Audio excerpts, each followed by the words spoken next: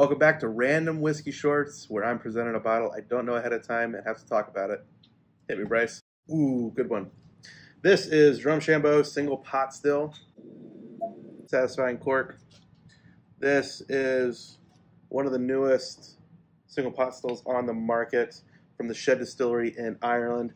Uh, single pot still, if you've had uh, Redbreast or Green Spot, any of the spots, anything like that, or Powers, uh, a lot of those are going to have um, the mixed mash bill of malted and unmalted barley.